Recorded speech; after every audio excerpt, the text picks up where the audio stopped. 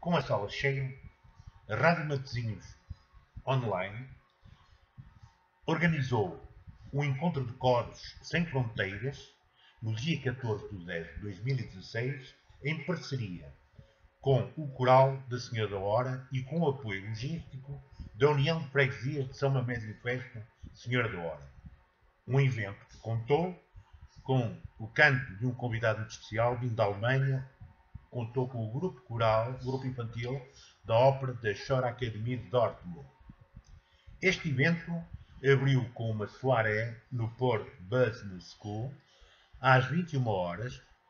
eh, com o coro infantil de Dortmund, seguido do coral da Senhora da Hora, do coral das Bicas e do coral do Porto Business eh, School. O encerramento foi feito pelo coral infantil da ópera da Chora Academy por volta da meia-noite. Amanhã,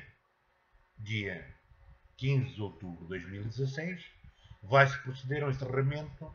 eh, numa matiné no Palácio Cristal, com, no auditório Almeida Garré, por volta das 15 horas, com o Orfeão do Porto,